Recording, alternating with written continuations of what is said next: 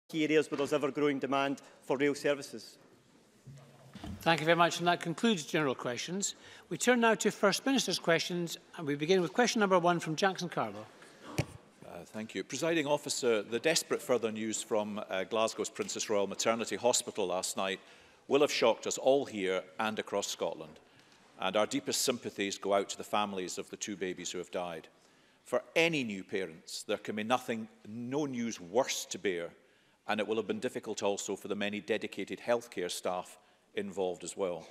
In the light of these events, can I simply invite the First Minister to update the Chamber? First Minister. Well, can I thank Jackson Carlow for that opportunity. I also want to begin today by putting on record uh, my heartfelt and sincere condolences to the parents of the two babies uh, who died after contracting uh, staph aureus infection. Uh, there is also uh, a third baby who remains in neonatal intensive care and I'm sure the best wishes and the thoughts of everyone across uh, the Parliament are uh, with that child, uh, their parents and wider families. Uh, our primary concern, and indeed that of the Health Board, is the safety and well-being of patients and their families at all times. Uh, the Health Board is taking all necessary steps to manage this incident and ensure patient safety. They've been in contact with affected families as well as with other families in the unit to advise them of the incident and the actions that they are taking. These actions include regular screening of the newborn children and providing information, information to patients, families and staff. Enhanced cleaning schedules have been put in place.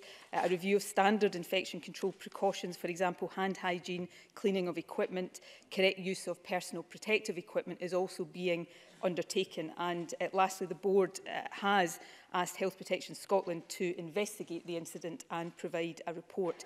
Uh, the last thing I will say, presiding officer, and I, I would preface this by saying I am in no way trying to detract in saying this from the seriousness of the incident we are discussing today. Uh, but Staphylococcus aureus is unfortunately not an uncommon infection in people uh, in hospital, including uh, with neonatal babies. Uh, and indeed, that infection can be found in around one in four people. So that makes it all the more important that hospitals have in place rigorous infection control procedures uh, and it is my job, the Health Secretary's job, working with the Board and Health Protection Scotland and indeed with Healthcare Environment uh, Inspectorate to ensure that that is the case. But for now, I know all of our thoughts will be with the families affected. Jackson Carlo.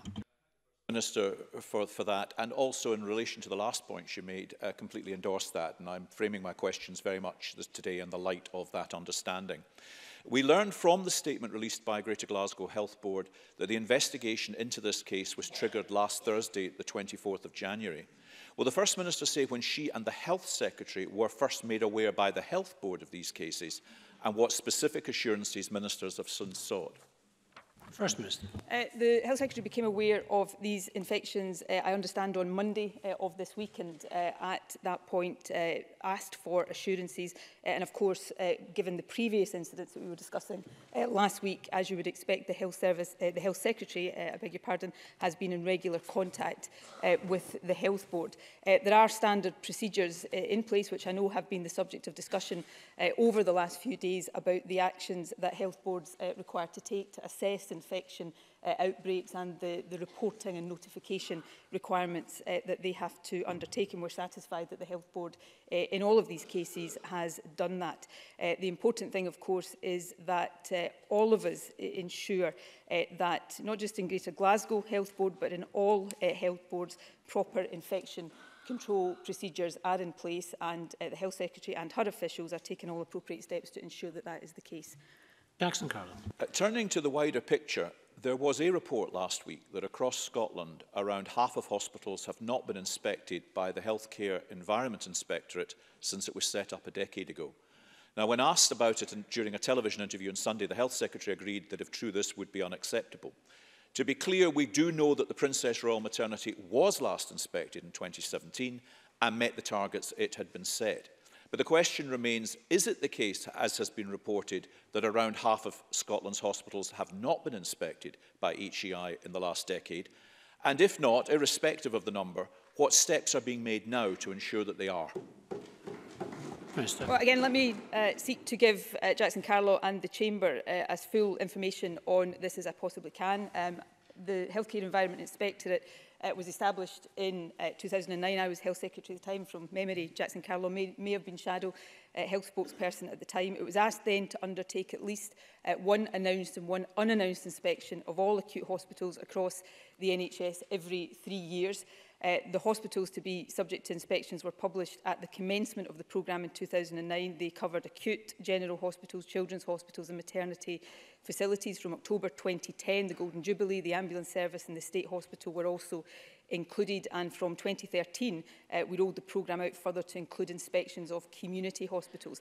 Uh, inspections, as uh, I'm sure Jackson Carlo is aware, are based on intelligence and they are uh, risk-based. Uh, Uh, based on HEI inspections since 2009, uh, facilities visits have covered more than 90% of the acute and community hospital beds in NHS Scotland.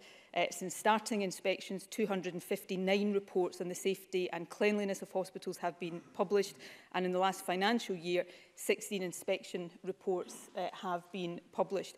Uh, I'll go back to a point I made a moment ago, though. It is important that uh, there is a risk-based approach taken uh, to inspections, which uh, is why uh, I'm sure it will be the case that acute hospitals are, are perhaps inspected more regularly than smaller community-based hospitals.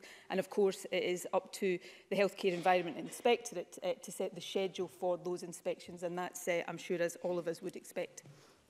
Jackson Carlo. Uh, and finally, I'd like to raise the key issue of how hospitals respond when faced with tragic incidents. Obviously, patients and families need to have confidence that when a case like this emerges, Everything, everything is done to minimise the spread of infection any further. The current national guidance says that an investigation should only begin when two or more cases of the same type of bacteria are found. Now, given the concerns raised over recent weeks, does the First Minister believe that the framing of the guidance remains sufficiently robust and clear? And would she encourage health boards to examine the plans they have to see if improvements can be made? First Minister. Well, in light of these kind of incidents, uh, my starting point would that be that we should always review uh, protocols and procedures and guidance uh, that are in place and that will be the case uh, in these instances and health boards should always make sure uh, that they are uh, responding appropriately. Of course, the kind of guidance that uh, Jackson Carlord referring to will be informed by expert uh, opinion, and that uh, is right and proper. In terms of the procedure that's in place right now for reporting uh, infections, there is the Healthcare Infection Incident Assessment Tool, which health boards uh, are required uh, to follow, and that is followed by infection prevention and control teams or health protection teams to assess every healthcare infection incidents, and that means all outbreaks and incidents in any healthcare setting. And uh, as I think I said a moment ago, but it, it is worth repetition, we consider that each of the cases that have been reported over the last couple of weeks have followed this procedure. Uh, the tool, uh, in brief, presiding officer, has two parts. Firstly, it assesses the impact of a healthcare infection incident or outbreak on patients, on services and on public health. Uh, and secondly, it supports a single channel of infection incident outbreak assessment and information reporting, both internally within the Health Board area and then externally to Health Protection Scotland and the Scottish uh, Government. And that includes, uh, of course, public uh, reporting and the preparation uh, of information for the media as well. Uh, that, uh, I think, is a, a robust procedure. Uh, I remember as Health Secretary having cause on more than one occasion to look at that and to look at boards' compliance with that. Uh, but I do think it's important when we've had infection outbreaks such as those we've been speaking about that uh, we do review these procedures and if any changes uh, are considered to be required then those changes should be made. Question number two, Richard Leonard. Uh, Presiding officer, new figures released this week confirmed that for the first time in a decade, homelessness in Scotland is rising. As a result, two days ago, Shelter declared that Scotland faces a housing emergency. And that I quote, the upcoming budget should be seen as an opportunity for the Scottish Government to ensure councils are properly resourced to deal with this unacceptable rise in homelessness in Scotland. Does the First Minister, in all conscience, really believe that a £319 million cut to local government is properly resourcing Scotland's councils? First Minister. Well, the Finance Secretary, of course, will uh, set out uh, his budget uh, statement later on uh, this afternoon. I, I very much hope we can uh, reach an agreement uh, that delivers a majority for that budget at five o'clock this evening. Work on that continues. I should say work on that doesn't continue with the Labour Party because we are still waiting for Labour to bring forward any credible proposals for the budget. I know be, to be fair, Alec Rowley, I'm not sure if he's in the chamber, did bring forward proposals. He's a front bencher, but it turned out they weren't approved by the rest of the Labour Party. Uh, but on to, on to the important issue of homelessness, and uh, I uh, agree very much with Shelter's sentiments here. I think in order to provide, firstly, uh, the context, The long-term trend shows a significant decrease in the number of applications uh, for uh, number of homelessness applications. The uh, slight rise this year follows an eight-year decline in homelessness applications, uh, and all of the evidence suggests that that is largely down to welfare changes, which both I and Richard Leonard oppose. We differ on whether or not this Parliament should be responsible uh, for the welfare system. It's also important to note that these figures predate uh, the establishment of uh, the Ending Homelessness Together Action Plan, which was published in November with 70 different recommendations uh, backed by organisations like Shelter and Crisis, who were both represented on the task force that produced those recommendations. Uh, and going back to the budget point, we have also committed to a £50 million pounds Ending Homelessness Together uh, fund and uh, committed uh, £23.5 million pounds from that fund uh, to support uh, a transformation around rapid rehousing. So this is an issue of the utmost seriousness uh, and this government takes it extremely seriously as will be reflected not just in our budget, but in the other work that we are doing with organisations such as Shelter. Richard Leonard. Well, the First Minister is referring to a fund that's worth £50 million over five years, compared to a budget that cuts council funding by more than six times in one year alone, that same amount. And back to this Parliament, as it stands, the budget we will vote on this afternoon cuts council funding by £319 million. This is about cuts to social work, to housing and homelessness support services, and cuts in the number of staff to deliver them. As a result, people in need, including children in need, are falling through the cracks. In the 12 months up to September 2017, 833 households cited a lack of support from health, housing and social work services as the reason for their homelessness. This week, the government announced the figure for the year ending September 2018.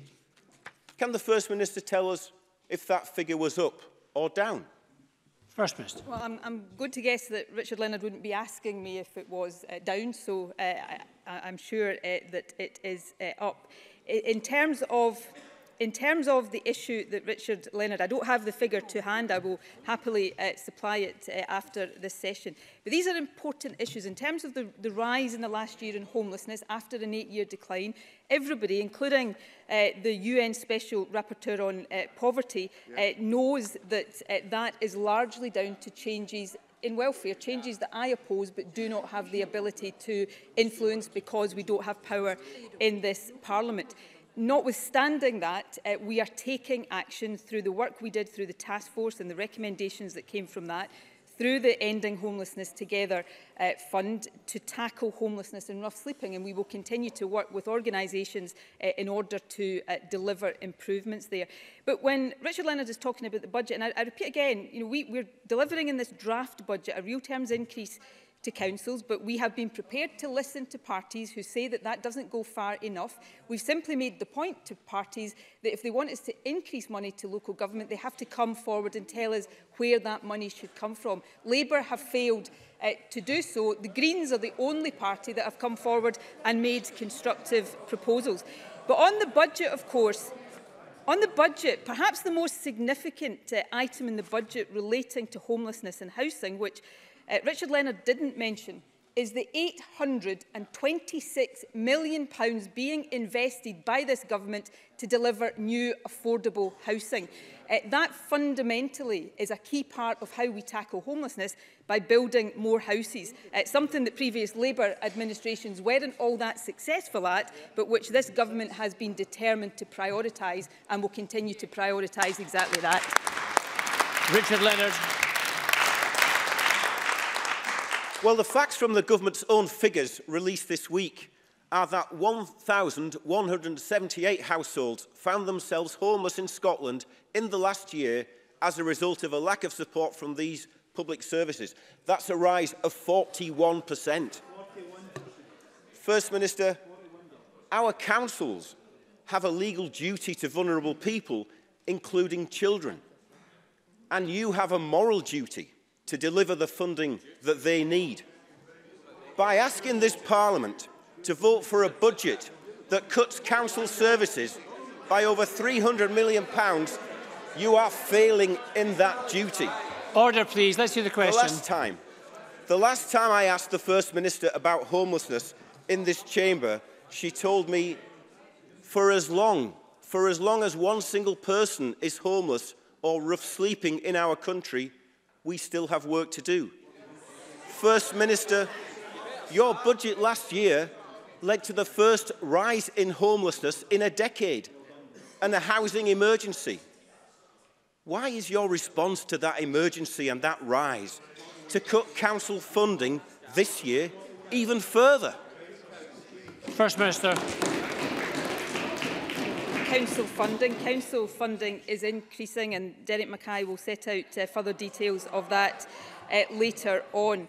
Um, in terms of homelessness, I stand by absolutely uh, what I said before. Homelessness and rough sleeping is not acceptable.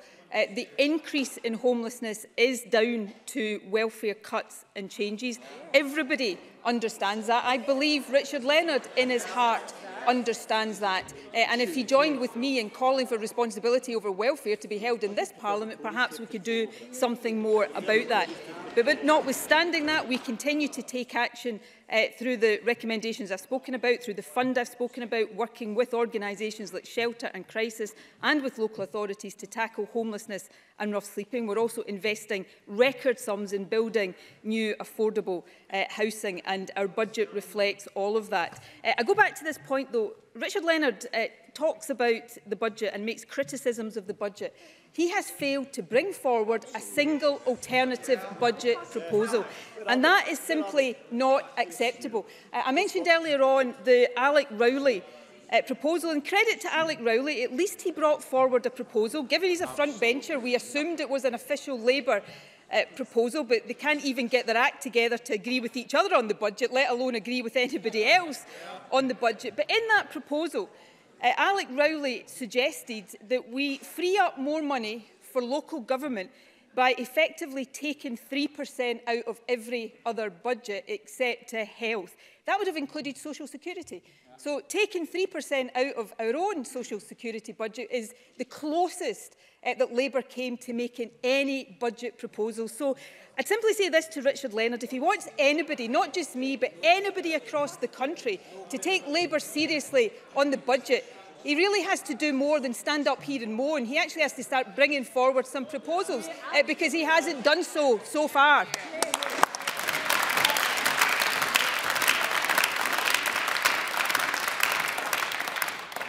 Now, there are a lot of members wish to ask supplementary questions today. We'll see how many we get through. The first from Alistair Allen, to be followed by Alexander Burnett. Alistair Allen. To ask the First Minister what the Scottish Government can do to assist the workforce of the Talk Talk call centre in Stornoway in my constituency, who have just learned that they are all to lose their jobs this summer. The First Minister will appreciate that 59 job losses leaves a very big hole eh, in a small self-contained island economy, perhaps comparable to 1,800 job losses in Glasgow. Can I urge the Scottish Government and its agencies to do everything possible now to seek alternative options, as well as to help these workers and the wider community? First Minister. Well, can I thank Alistair Allen for raising this issue? I was very concerned to learn of the developments at Talk Talk in Stornoway uh, yesterday and the impact this will have on the employees affected as well as on the local community and economy. And the point uh, that Alistair Allen makes about scale here, I think, is a, a point uh, very well made. Our agency, Highlands and Islands Enterprise, is already in direct contact with TalkTalk, Talk, both at local and at national level, uh, and we are committed to doing everything possible to address this situation urgently in the hope of obtaining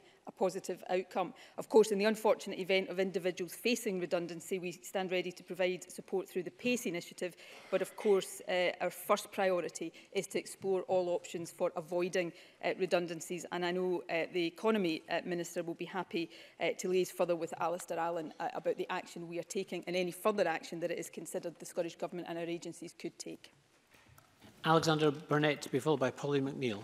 Uh, thank you, Presiding Officer. Um, now, I'm sure the First Minister will have seen last weekend's newspapers regarding the 13-year detention of Kyle Gibbon at Carstairs, where it was quoted that the Scottish Government had announced plans to hold an inquiry into why Mr Gibbon, alongside eight other people with autism or learning difficulties, have been detained in the Maximum Security Hospital. Now, a previous article in December said the Minister for Mental Health would be carrying out an inquiry into Carstairs by the end of January. So can the First Minister confirm that Kyle's case is being investigated? First Minister. Well, I will ask the Mental Health Minister uh, to correspond with the member with more detail of this. I, I would say, and I know, I hope everybody across the chamber will understand uh, that due to patient confidentiality, it wouldn't be appropriate for me or the government to comment on individual patient cases. Uh, what I would say is this diagnosis of a behavioural disorder itself is certainly not cause for detention and there are significant safeguards where compulsory treatment is uh, necessary, including, of course, the right of appeal. Admission to the state hospital is based on diagnosis of mental disorder requiring treatment under conditions of special security which can't be suitably cared for in a hospital other uh, than the state hospital. Um, the Mental Health uh, Minister pays very close attention to cases like uh, this one and we will uh, do everything possible to ensure uh, that all rules and regulations are properly being adhered to and I will ask uh, the Minister, as I said a moment ago, to write to the member uh, with whatever further detail it is appropriate to share with him. Pauline McNeill to be followed by Fulton McGregor. Thank you. First Minister, over 20 homeless people have died since mid-November in Glasgow from the availability of a high-strength street Valium known as street blues. It's three deaths a week. Uh, drug users have been warned that they are dicing with death. First Minister, it is unprecedented and it presents a new problem on our streets Last month, a drug gang was jailed for producing at least 1.6 million worth of this street Valium, but it hasn't dented the supply. Of course, the problem is not confined to Glasgow, it's in other cities in Scotland, but it is certainly biggest in Glasgow. Can the First Minister assure Parliament that there will be a considered response to looking at ensuring that people are warned about the severe dangers of this drug? But First Minister, I know that there has to be a much wider look, perhaps a multi-agency approach, to get these deadly drugs off our streets to save lives where we can. First Minister. Well, Polly McNeill raises raises a very important issue. Uh, this is an issue that has uh, affected my own constituency uh, in the past, so I'm very well aware uh, both of the, the issues uh, underlying uh, this question, but also the impact uh, on individuals and communities. Uh, Uh, we are obviously aware of an increase uh, in street Valium uh, being implicated in deaths. Uh, it's usually when it's used in combination with opiates. Uh, there are significant harms associated with polydrug use. Uh, most drug-related deaths are of people who take more than one substance. Uh, I can tell the Chamber today that Glasgow Alcohol and Drug Partnership has already met to discuss this issue and to discuss uh, what further action can be taken to respond. Uh, they continue to promote a range of outreach activity as well as providing harm reduction information specifically on this issue of street Valium.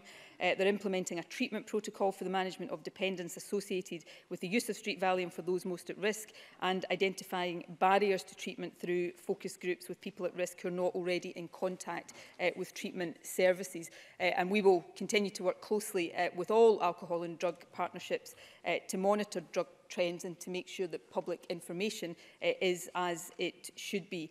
Uh, we also work closely with the police on all aspects of drug policy and enforcement, including counterfeit prescription uh, medication. Uh, so these are important issues and all agencies involved have a responsibility to ensure that the action that is being taken uh, meets the, the challenge that is posed. And I'd be very happy to ask uh, one of the health ministers, public health minister, to meet with Pauline McNeill if she wants further information uh, on the actions being taken and the discussions being uh, undertaken. Fulton McGregor to be followed by Morris Corey. Thank you, President Officer. The First Minister will be aware of reports of blue water at Buchanan and St Ambrose High Schools in Coatbridge. She may also be aware of reports that staff have been warned eh, against speaking to parents or politicians about this issue. Can she outline what steps the Scottish Government can take to ensure a full investigation into this problem by North Lanarkshire Council and to ensure that the Council is keeping parents, families and pupils involved and informed in a fully transparent manner? First Minister. Well, Scottish Government officials have been in contact with North Lanarkshire Council about this issue and I understand uh, the concerns that are being raised. Uh, the Council has informed us that a range of measures are already being taken, uh, including replacing pipework, and uh, that's a process that the advisers uh, will be complete next month. Uh, the Council has also advised that parents and pupils have been kept informed by letter. Uh, I would say that clear communication of the issue uh, and the steps being taken to address it is clearly in everyone's best interest and I would encourage the Council to ensure uh, that that is done. Uh, I can uh, advise and assure uh, Fulton MacGregor that my officials will continue to liaise with the Council and offer any appropriate support as they seek to resolve uh, this serious issue. Morris Corrie, followed by John Mason. Uh, the First Minister may be aware of the recent outbreak of hepatitis A at St Mary's Primary School in my region, resulting in staff and pupils having to be vaccinated. The source of the outbreak is currently unknown, so what assurances can the First Minister give that measures will be taken to fully investigate this and prevent it from happening again?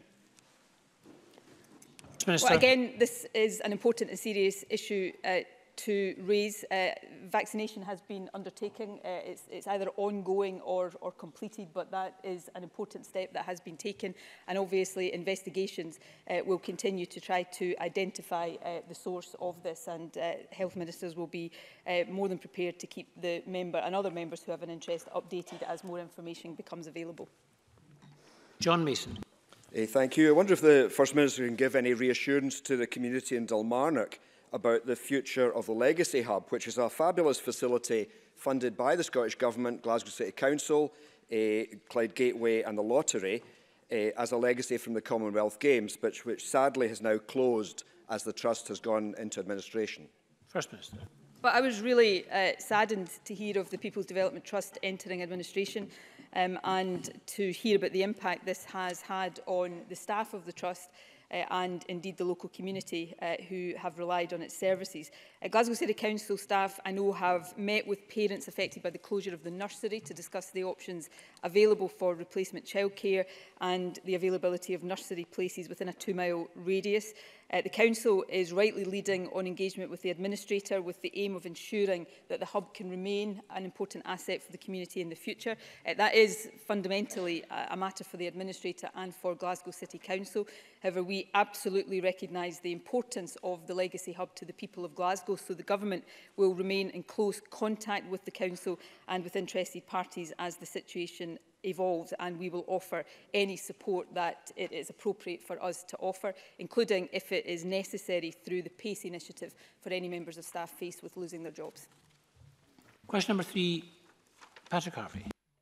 Thank you, Presiding Officer. The Scottish Greens have regularly raised the issue of Scottish Government support to the arms industry, and in particular to Raytheon, the third largest arms firm in the world and largest producer of guided missiles. They sell, arm, sell missiles to Saudi Arabia, where they've been linked to alleged war crimes such as bombing civilians. When we raise these issues, we're often told, as, uh, as the Ferret were recently in publishing a report by the Scottish Government, we're very clear that we expect the UK Government to properly police the export of arms. Presiding officer, I don't expect that. I fully expect that the UK Government will continue to facilitate arms sales to human rights abusers, to countries involved in war crimes and atrocities around the world. I don't think people in Scotland should be expecting that the Scottish Government will continue to back this industry. But just in the last week, my colleague Ross Greer uh, has published research showing if members would like to hear this, perhaps some of them don't care. My colleague, Mr Greer, has published research showing that, the, that Scottish Enterprise is providing bespoke services to that company to help them grow by offering advice, help accessing finance and help them access new markets. Mm -hmm. Presiding officer, what on earth is the justification for the Scottish public to be backing an industry like this, to grow its business, a company with reported sales of some £22 billion pounds in 2017. Isn't it time for the First Minister to reverse the Scottish Government's support for the arms industry? First Minister. Well, uh, firstly, I, I have not personally seen the research uh, from Ross Greer that Patrick Harvey refers to. It may be available to the government. I'm more than happy to ask uh, government officials to uh, take a look at that. Uh, what I would say, though, and I've said it before in the Chamber uh, in response to previous questions Patrick Harvey has raised on this issue is that the Scottish Government uh, and our enterprise and skills agencies do not provide funding for the manufacture of munitions, uh, uh, that is weapons or ammunition, uh, particularly for military use. Uh, any support that we give for companies uh, like Raytheon is focused on projects for non military uses and for business diversification. For example, uh, laser guidance component, components have a broad range of navigation uh, uses, including for landing uh, guidance for helicopters. Of course, as Patrick Harvey himself has alluded to, licences for arms sales are provided uh, by the UK government. So we will uh, continue to provide support for firms uh, in areas like innovation, workplace efficiencies and uh, training. Uh, these firms uh, do support a large number of jobs in Scotland, but we do not and will not provide support for uh, weapons or ammunition or munitions uh, in general. Patrick Harvey. Well, yes, the, the First Minister does often use uh, the, the word diversification as a cover for this support to the arms industry. And I, and I wonder if the First Minister can tell us anything about the extent to which diversification has in fact happened, because uh, according to the Stockholm International Peace Research Institute, in 2007, 97% of Raytheon's total sales were arms sales. In 2017, it was 94%. What we're seeing is not diversification, it is the opposite of diversification. And the government support uh, through account management through Scottish Enterprise is specifically to grow this business and to help them access new markets. Can the First Minister tell us anything that the Scottish Government intends to do differently in the future? And meanwhile, isn't the case overwhelming to withdraw this constant stream of support from the public purse for this company and others to grow their lethal business? First Minister. Well, in terms of uh, Raytheon, the Scottish Enterprise uh, funding to Raytheon has supported uh, a range of activity for diversification into non-military uh, and civilian markets and to help recite uh, Raytheon administrative staff. It is not uh, funding to support uh, munitions, ammunition uh, or weapons. And that remains the case. There are jobs supported by these companies. Of course, these are uh, often global companies that don't just operate uh, in Scotland, so their overall uh, business will depend uh, on what they do in a range of, of different countries. But that is the focus of support uh, for Scottish enterprise. I you know, remain open uh, to hearing concerns about this, to looking uh, at whether there are any changes to the procedures that Scottish enterprise uh, uses to tighten uh, that that up. But I, I don't make an apology for our enterprise agencies trying to support our economy uh, and to support jobs. Often uh, in this chamber, uh, members rightly, understandably raise concerns about job losses. The job of the government and the job of Scottish Enterprise and Highlands and Islands Enterprise is to try to create employment and support employment. But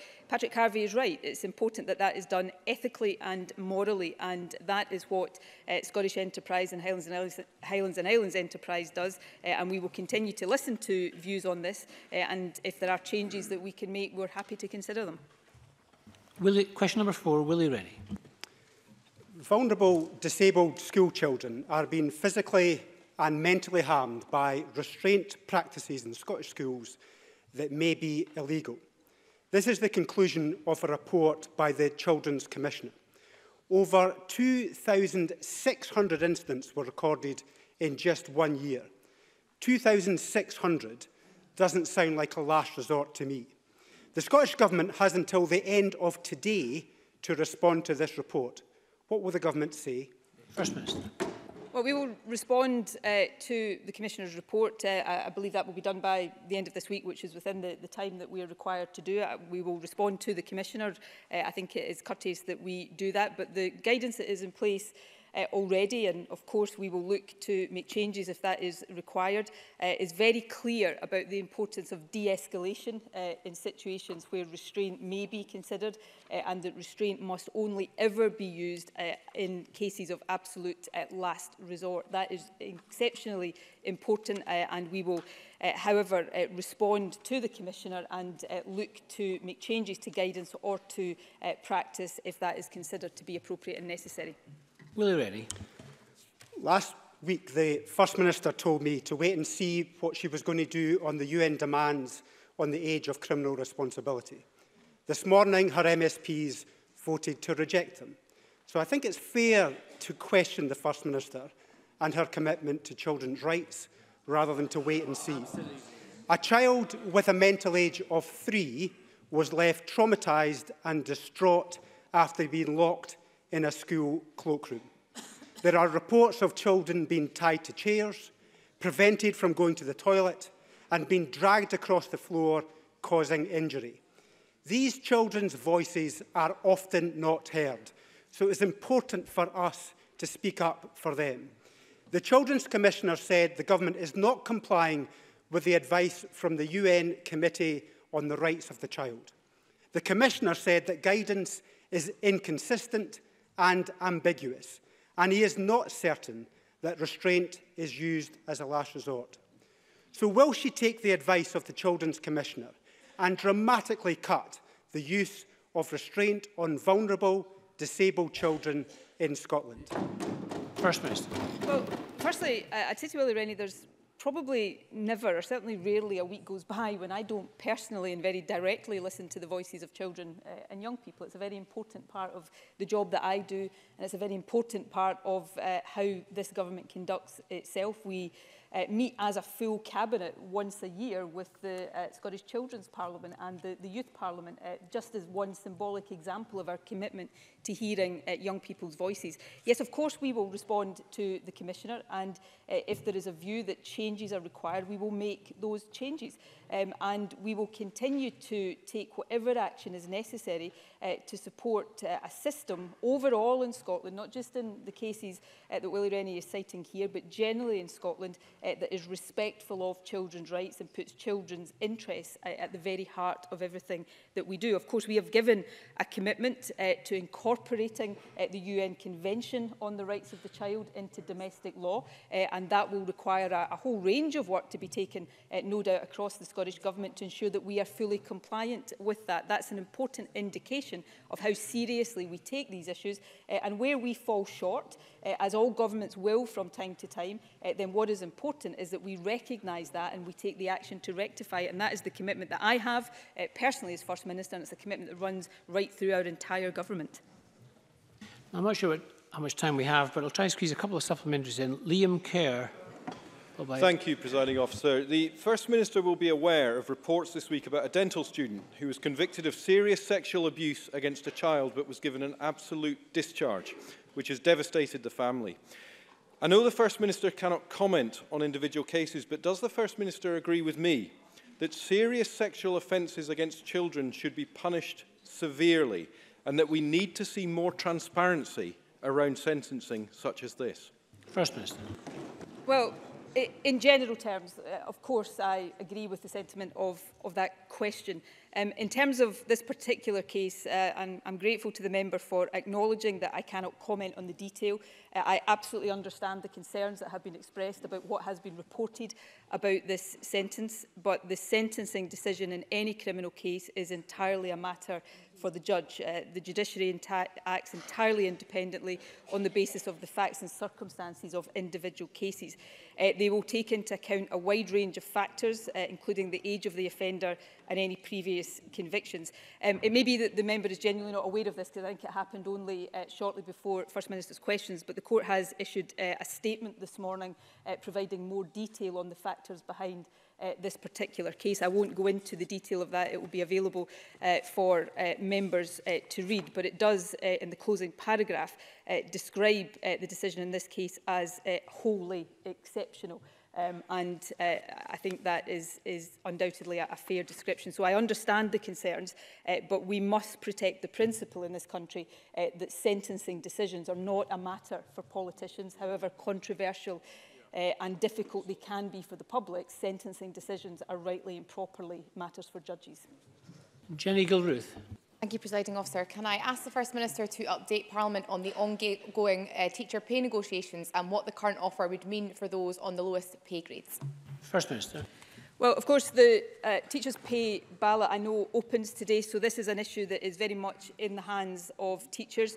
Uh, however, an, an improved uh, offer has been made to teachers and Uh, the additional investment required to fund that offer, of course, will be provided uh, by the Scottish Government.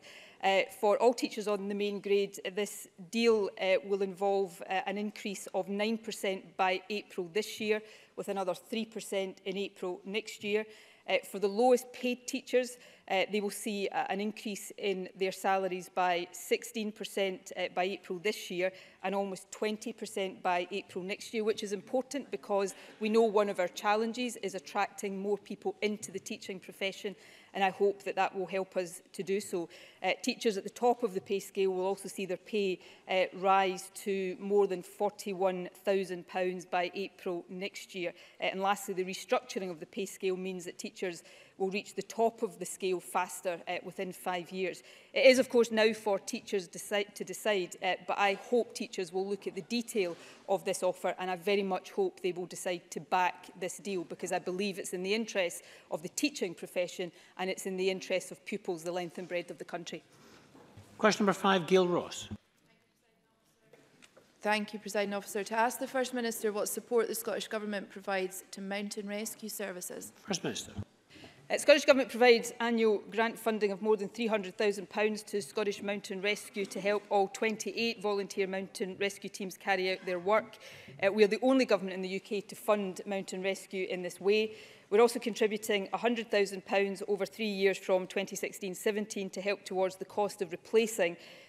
the Scottish Mountain Rescue team's ageing VHF radio equipment as well as assisting them with the procurement process.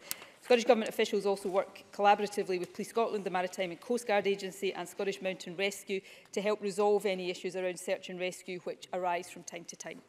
Gail Ross. I thank the First Minister for that answer. As we now see harsher weather conditions across the country, uh, will the First Minister go into further detail on the ongoing dialogue between the Scottish Government, the Maritime and Coast Guard Agency and Police Scotland in relation to helicopter support And does the First Minister agree with me that the voluntary work of the Scottish Mountain Rescue Service is absolutely invaluable? First Minister.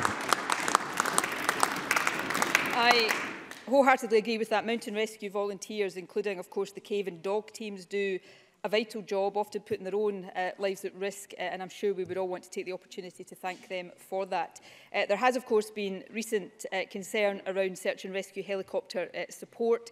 Uh, the levers for change around that remain with the UK Government uh, and Department for Transport. However, following recent discussions between Police Scotland and the Coast Guard Agency, we understand that guidance has been updated to help address the issues raised around support for body recovery and for lifting volunteers from the hill following a rescue.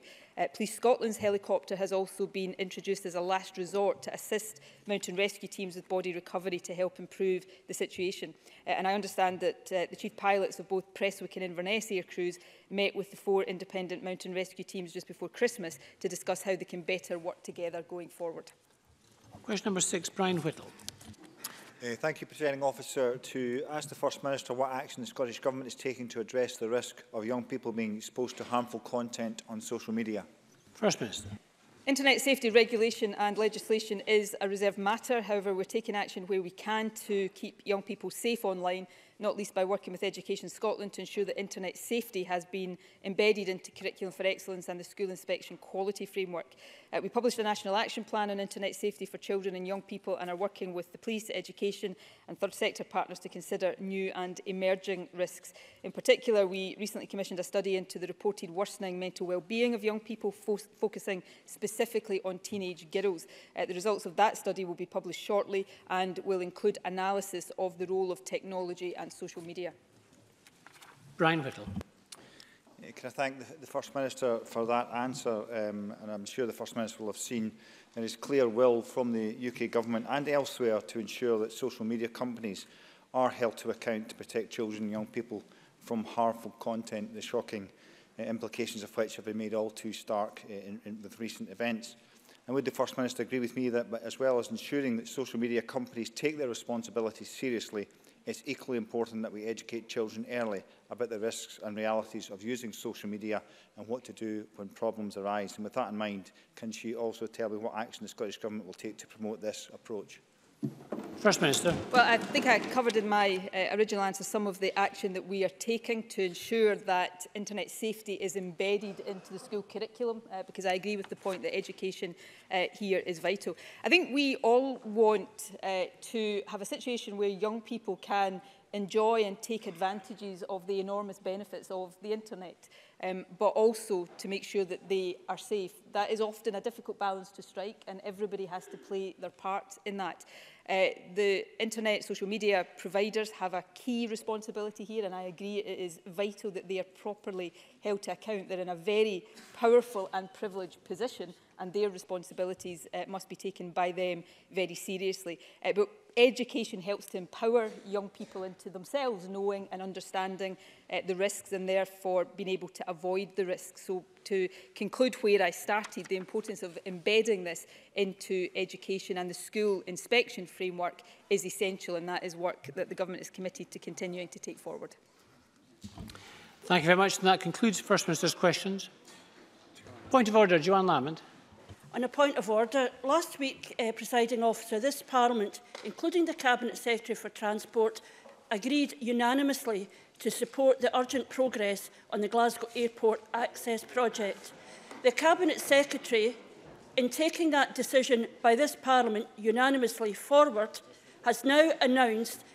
his decision that this project should be scrapped.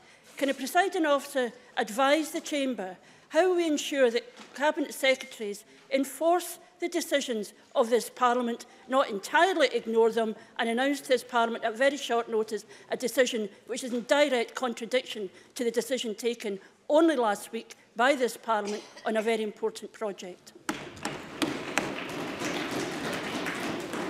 can thank Joanne uh, Lamin for uh, asking that question. However, it's not a point of order. It sounds like a political question to be raised either through the normal mechanisms, written questions, or through the business manager and through the business bureau. Can I also just say to all members, apologies, 12 members uh, didn't get in today to ask supplementary. So again, could I implore all members and the First Minister to keep the answers and the questions short. We're going to move on now to first to members' business. In the name of Ian Gray on the Royal Society of Edinburgh's Tapping All Our Talents 2018 Progress Report on Women in STEM. But before we do so, we're going to suspend very shortly to allow the gallery to change round and for ministers and members to change seats. A short suspension.